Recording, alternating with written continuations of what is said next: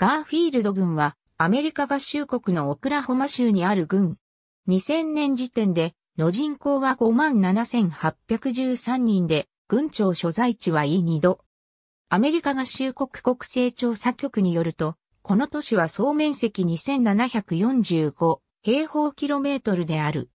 このうち2741平方キロメートルが陸地で4平方キロメートルが海や湖などの水地域である。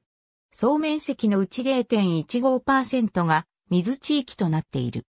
2000年の時点での軍の人口ピラミッド2000年の国勢調査によると、ガーフィールド軍には57,813人、23,175世帯、及び15,805家族が暮らしている。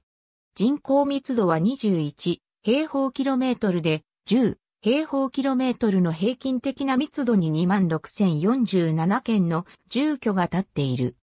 この軍の人種の構成は、白人88.65%、黒人3.26%、先住民2.11%、アジア系0.85%、太平洋諸島系0.49%、その他の人種2.02%、及び根血2.62%で4.13%の人々がヒスパニック、またはラテン系である。ガーフィールド郡に住む23,175世帯のうち31.40%は18歳未満の子供と暮らしており、54.20%は夫婦で生活している。10.50%は未婚の女性が世帯主であり、31.80%は家族以外の住人と同居している。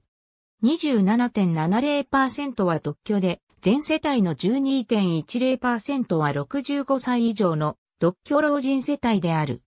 1世帯あたりの平均人数は2.42人であり、家庭の場合は2.95人である。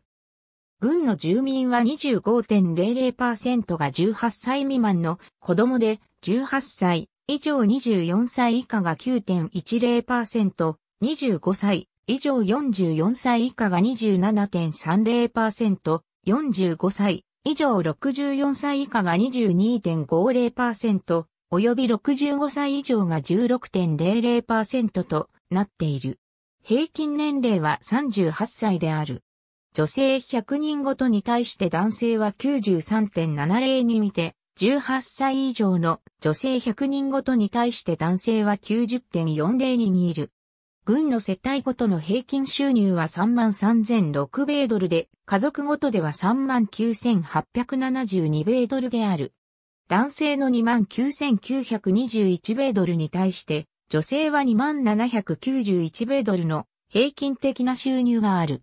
この軍の一人当たりの収入は17,457米ドルである。総人口の13.90%、家族の10.50%は貧困線以下である。18歳未満の子供の19.70%、及び65歳以上の10.40%は貧困線以下の生活を送っている。ガーフィールド郡では、下記の地点がアメリカ合衆国国家歴史登録財に登録されている。ありがとうございます。